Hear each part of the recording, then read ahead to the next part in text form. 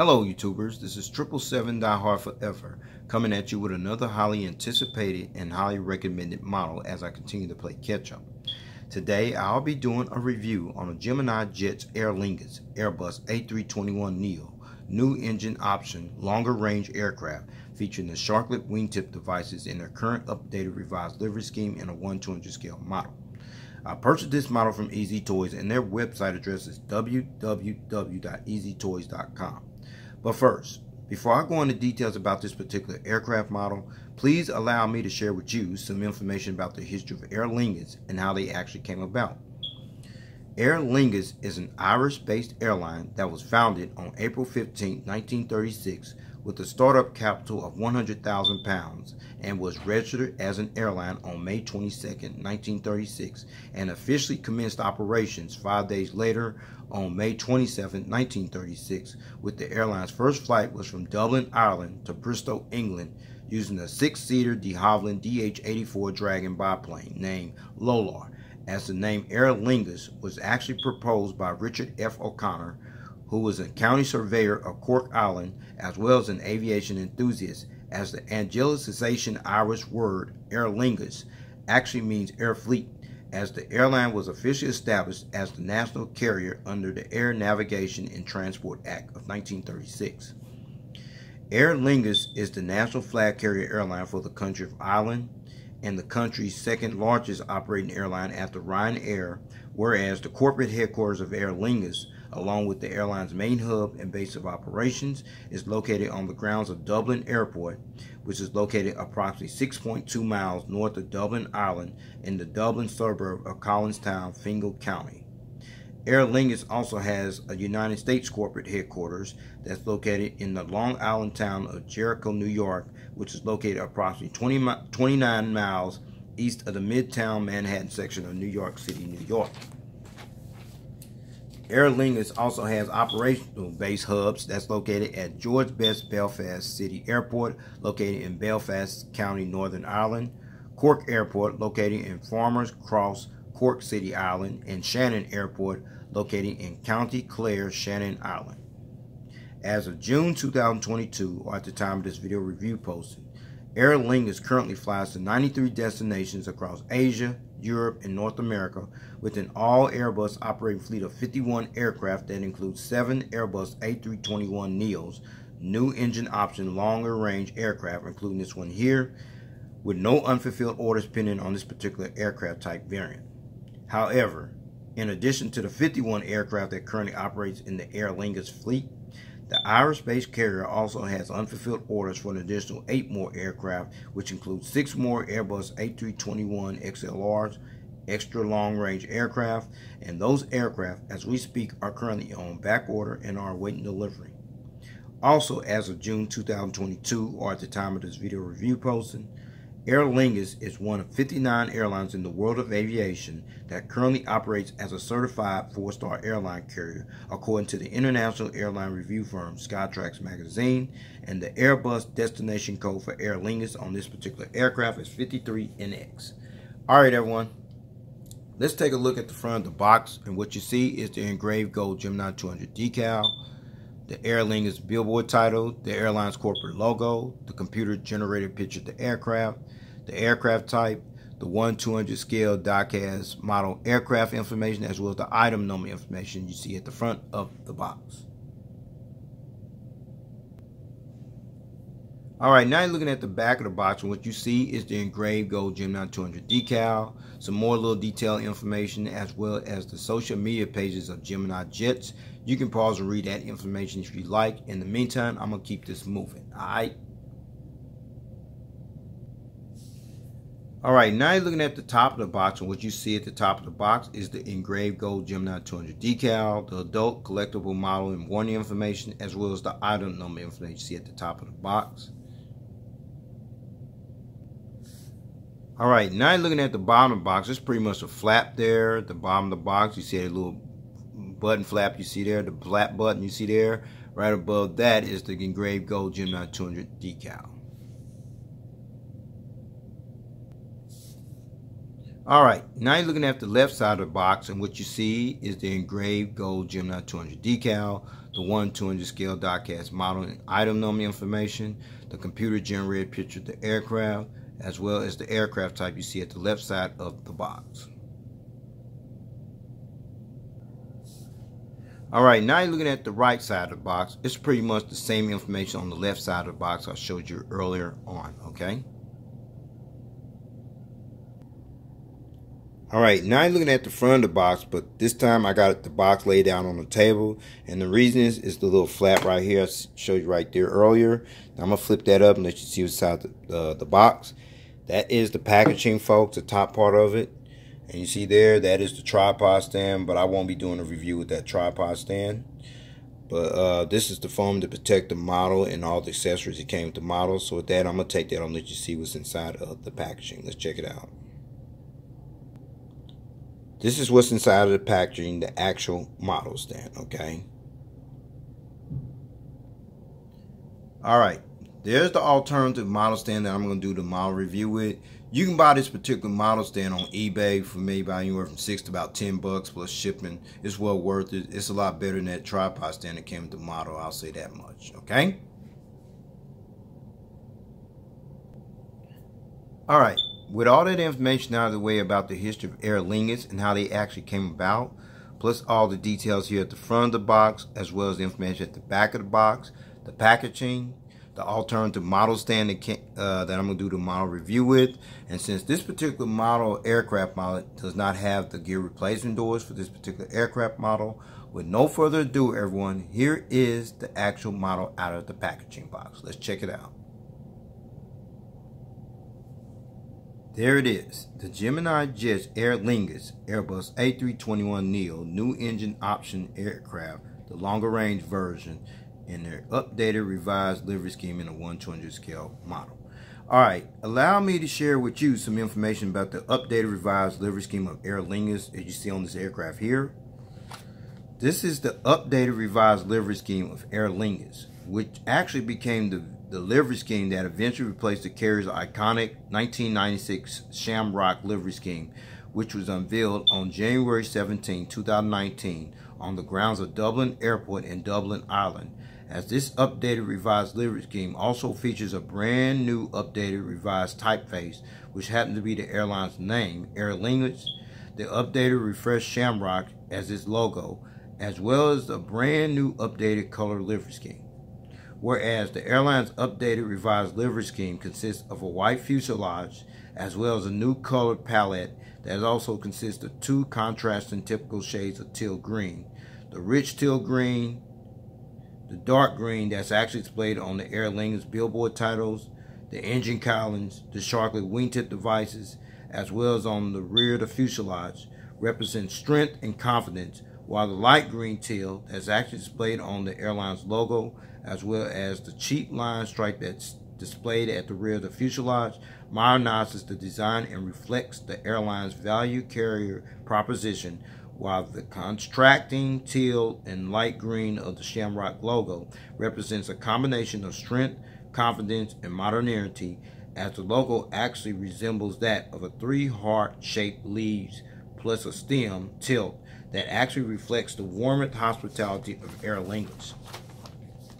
And the very first aircraft that actually begun sporting this livery scheme was an Aer Lingus Airbus A330-300 jetliner aircraft, which bears the registration ship number EI-EDY. And at the time of this video review posting, the entire Aer Lingus fleet is painted in this updated revised livery scheme, as this livery scheme was actually created and designed by the consultancy firm of Lippincott, whose global headquarters is located in New York City. So, with all that information out of the way about this particular liver scheme, with no further ado, everyone, let's get down to the business and allow me to show you all the details on this aircraft model. Shall we? Let's check it out and let's begin. All right, we're gonna start at the front of the aircraft here on the port slash left side. We're gonna start at the front nose landing gears, the landing gear struts, the landing gear door featuring the um, partial registration ship number on this nose gear door, RA. See the pitot tubes and the static ports, what have you. The radome nose cone. the windshield wipers, the cockpit windows. I'm going to give you a better visual view of those details later on in the model review. And right underneath the cockpit window is the name of the aircraft, St. Rowan, which is this name you see right here. And Aer Lingus decided to christen their very first Airbus A321neo LR new engine option longer range aircraft in honor of St. Rowan, who was actually a Christian abbot who founded the monastery of Lorrha, which is located in County Tipperary, Ireland, in the village of Terryglass, who was actually venerated to sainthood as one of the 12 apostles of Ireland shortly after his death on April 15, 584 AD. As April 15 is actually considered feast day, which is celebrated every year throughout the country of Ireland, as the country as well as the airline Aer Lingus pay their honorary respects to this individual, St. Rowan. And now you see the um up here above the windows, the Aer Lingus title, as well as the updated revised Aer Lingus logo you see right here. This is the updated revised corporate logo of Aer Lingus, as you can see displayed on the L1 the L1 entrance door right here. Next to the Airlines billboard title I showed you earlier there. Um, inside the Sharklet wingtip device. I'm about to show you that now. There, you're looking at it on the starboard side. You get the airline's logo on the port side, you see there as well, as well as on the tail fin of the aircraft. There is actually called a shamrock, which is a young sprig or a small bot botanical plant species of a clover plant flower that's also considered the national flower and the country symbol of Ireland, as the updated revised shamrock logo represents a combination of strength, confidence, and modernity, as this logo actually resembles that of a three-heart-shaped leaves, plus the stem tilt that actually reflects the warmth hospitality Aer Lingus, and has been the airline's signature trademark logo since it was introduced in 1965 as this logo can be visibly seen on just about every Aer Lingus aircraft that's currently flying in their fleet today. All right, we stay at the front of the aircraft, and right next to the uh, the airline's logo, as mentioned earlier, is the Aer Lingus billboard title, which is this name of the aircraft you see right here. And that's the name of the airline, as the Anglicization Irish word Aer Lingus literally means air fleet. Okay. And then underneath the windows and right next to the um, the L1 entrance door is the Airbus A321neo decal, which is displayed right here. Aer Lingus officially became the first airline in the IAG, the International Airline Group, as well as the sixth operator in the world of aviation overall that acquired this prestigious state-of-the-art narrow-body type jetliner aircraft as Aer Lingus took delivery of its first of seven Airbus A321neos, new engine option long-range aircraft that Aer Lingus had placed orders for back on June 20, 2019, and received their very first Airbus A321neo, new engine option long-range aircraft, which bears the registration ship number EI-LRA, which happened to be this aircraft looking at here, on June 26, 2019, and received their very last Airbus A321neo new engine option long-range aircraft, which bears the registration ship number EI-LRF on June 21, 2021. Aer Lingus has ordered a total of seven Airbus A321neos to add to their fleet.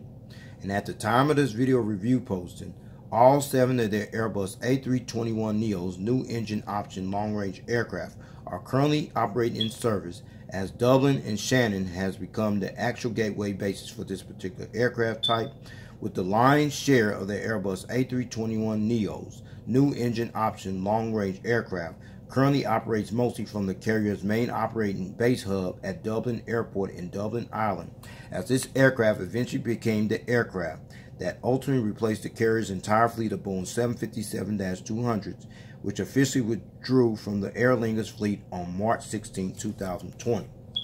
All right.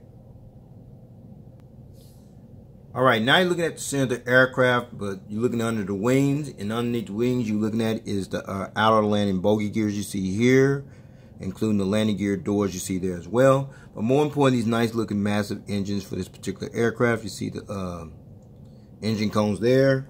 And these are the CFMI-LEAP, which literally stands for Leading Edge Aviation Propulsion-1A33 turbofan type engines that are used on this particular Aer Lingus Airbus A321neo new engine option long range aircraft. Now we're going to turn this aircraft model around. We're going to actually find out if the turbofan blades spin on this particular aircraft. Let's check it out.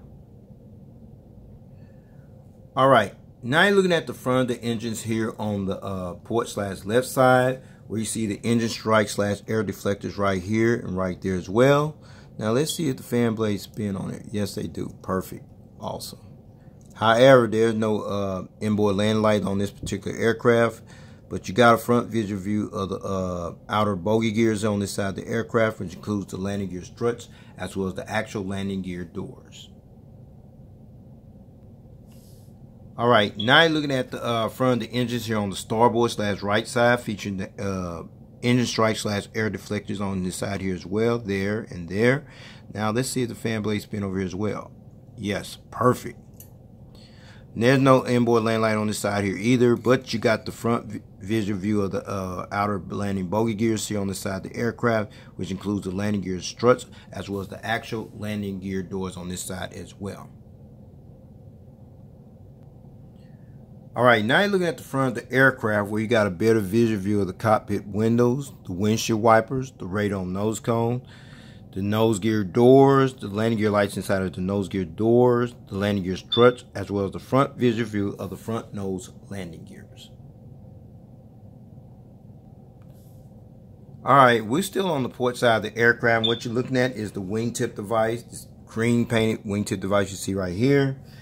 And it actually began back in 2009 when Airbus came up with another creative name for these blended winglets, as you can see here, in which the company decided to call them the Sharklets, which is designed to enhance payload range performance, resulting in less fuel consumption at the same time. Auckland, New Zealand based Air New Zealand actually became the first airline to actually have the Sharklet installed in their Airbus A320 aircraft back in 2012. And then there's the uh, red navigation light you see next to this uh, Sharklet wingtip device there as well.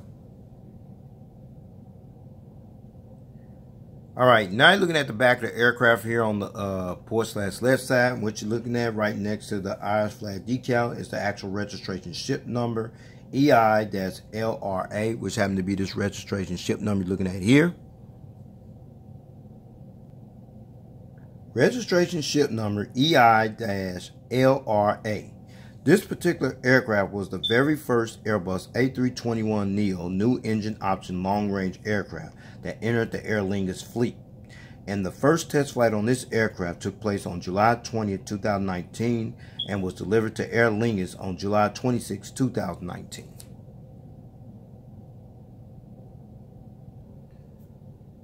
All right, we stay at the back of the aircraft. Right next to the registration ship number is the Irish flag decal. You see this little decal right here. And that flag decal represents the country where Aer Lingus currently operates from as the national flag carrier airline for the country of Ireland. And then looking at the little uh, light green cheat lines I mentioned earlier. And then there's the dark cheat line, the rest of the tail fin there as well, the airline's logo. And that's the uh, partial registration ship number RA that sits right there on top of the tail fin of the aircraft. All right, now you're looking at the back of the aircraft. What you're looking at is the APU uh, zero air uh, power unit exhaust hole. Unfortunately, there's no hole there, but un underneath the APU exhaust hole is two little dots, them little strobe lights, as well as the entire aircraft from the rear view angle. Let's check it out. There it is the Aer Lingus Airbus A321neo new engine option long-range aircraft from the rear view angle.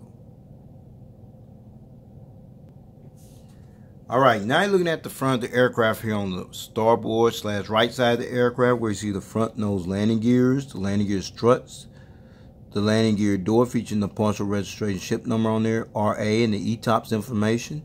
See the pitot tubes and the static ports, what have you, the radome nose cone, the windshield wipers, the cockpit windows, Rodan, Rowan, okay, it's, it's, it's uh, pronounced over here R-U-D-D.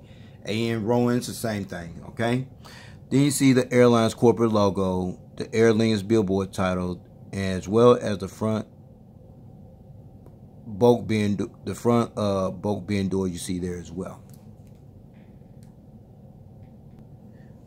Oh, I forgot to mention one thing. The Airbus A321neo you see displayed there as well.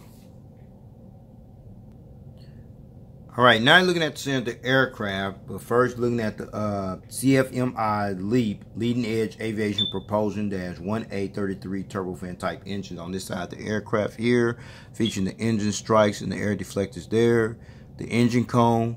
Then you got a side vision view of the outer landing bogey gears on here, include the uh, gear doors, as well as the Sharklet wingtip device you see displayed here, including the green navigation light you see there as well.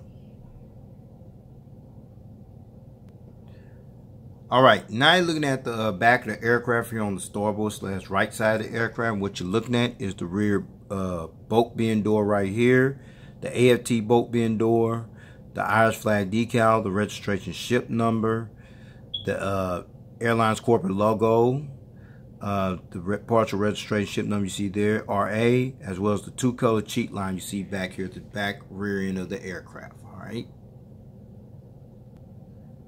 All right. Before I show you this aircraft model from the aerial bird's eye view as well as the undercarriage belly view in its entirety in full detail, please allow me to let you check out one feature, which is the rolling gears. I'm going to show you it right now. It rolls pretty good. So far, so good. The aircraft model does tilt. Tilt by itself. Perfect. Unfortunately, the front nose landing gear on here does not swivel, as you can see there. So with that being said, that's the only downside about this particular aircraft model. Other than that, it's pretty good. So with that said, let's check this aircraft from the aerial bird's eye view. Let's check it out.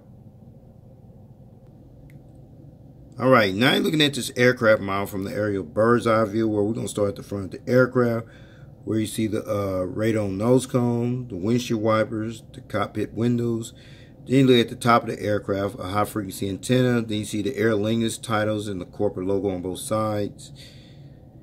Then you see the uh, anti-collision beacon light right there. The ADF antennas in 3D. Another high frequency antenna, and then that's the satellite communications antenna. And then there's another uh, high frequency antenna, and then that's the vertical stabilizer known as the tail fin, as well as the horizontal stabilizer. Some warning information on the uh, horizontal stabilizer and the little black dot you see there, as well as over here as well.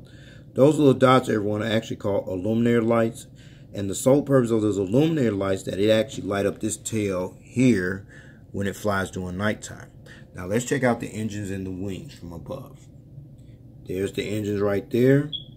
There's the wing walkway on top of the engines as well as the warning information. It includes the flaps, slats, ailerons, spoilers, what have you.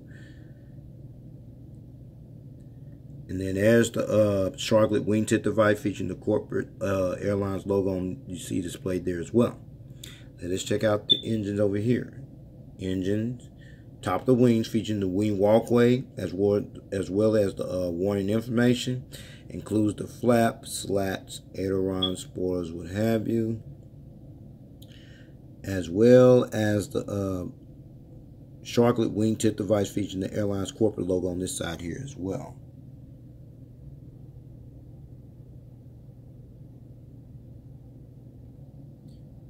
All right, now you're looking at the undercarriage belly view of this aircraft model. We're going to start at the front there as well. Where you see the radome nose cone. You see the A321neo. That's what this aircraft variant is. See the crew escape hatch door. And then you come up here, you see the front nose landing gear door as well as the front nose landing gear. And then you slide up this way, a high frequency antenna, the NACA ducts, the anti-collision beacon light, the actual models hole where the mouse thing goes in at, the Gemini Jets uh, logo, a high frequency antenna, the pressure relief valves on both sides, the APU housing door, as well as the horizontal stabilizers underneath. And now we're going to slide to the gears right here. Gears there. There's the engines there, as well as the wings underneath, which includes the flaps, slats, aileron spoilers, what have you. Registration ship number, as well as the Sharklet wingtip device you see there. Now let's check out over here.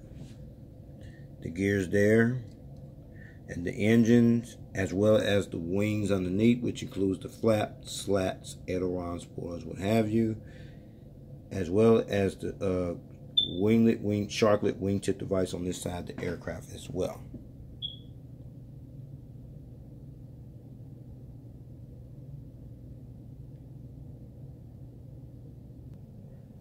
All right, since I show you this aircraft model from the aerial bird's eye view as well as the undercarriage belly view in its entirety in full detail, now I'm going to put it on that alternative model stand that I mentioned earlier instead of the tripod stand that came with the model. So with no further ado, everyone, here is the model on the stand. Check it out. All right, finally got this model on this alternative stand. No problem, no hesitation. As you see, it's, it's holding on pretty good on this stand. Now I'm gonna let you check this model out in, while it rotates in a clockwise rotation, starting with the uh, port side looking at here.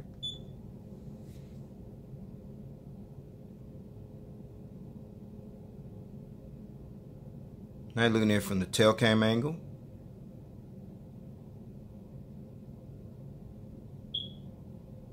Now looking at it from the starboard side.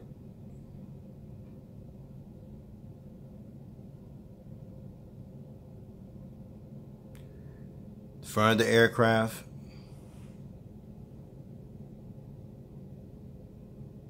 And back to the port side of the aircraft. All right, and since this particular aircraft model has no gear replacement doors, I'm gonna go ahead and take this model off the stand and go ahead and wrap up this model review, all right? All right, the seating configuration. The Aer Lingus Airbus A321neo new engine option long-range aircraft seats 184 passengers in a two-class configured cabin layout. All right, everyone, here's the breakdown, everyone, from rows 2 to 6 which will be from here to about right here. You have 16 business class live flatbed seats in rows 7 to 34, which will be from here all the way back to the rear of the aircraft. You have an additional 168 economy class seats, which brought the total to, which brings the total, sorry about it, which brings the total to 184 seats. And finally, Aer Lingus currently employs this aircraft or have previously utilized this aircraft, the Airbus A321neo new engine option long-range aircraft on routes from Dublin, Ireland to Boston Logan, Massachusetts, Hartford, Connecticut, London Heathrow, Minneapolis, St. Paul, Minnesota, Montreal, Canada, Newark, New Jersey, Paris, Charles de Gaulle, Philadelphia, Pennsylvania, Rome, Fiumicino, Toronto, Ontario, Canada, and Washington Dulles, from Shannon Island to Boston, Logan, Massachusetts, and New York, JFK, and from Manchester, England to Bridgetown, Barbados, New York, JFK, and Orlando, Florida. Those are the routes. Where everyone, this will conclude this model review. I'd like to know if you got this model or you plan on getting it. A couple deals, including Easy Toys, where I purchased this model from. Still had this model still available, and then there's a lot of deals that pretty much sold out of it. It's a nice model. If you can get your hands on it, please do so. Uh, I highly recommend it. So with that said, please take care. God bless. Stay tuned. There's more model content coming. I also have the Aer Lingus 330 in this same livery as well. I'll be doing a review on that later on as well. So with that said, take care. God bless. And above all, everyone, please stay safe out here. Peace.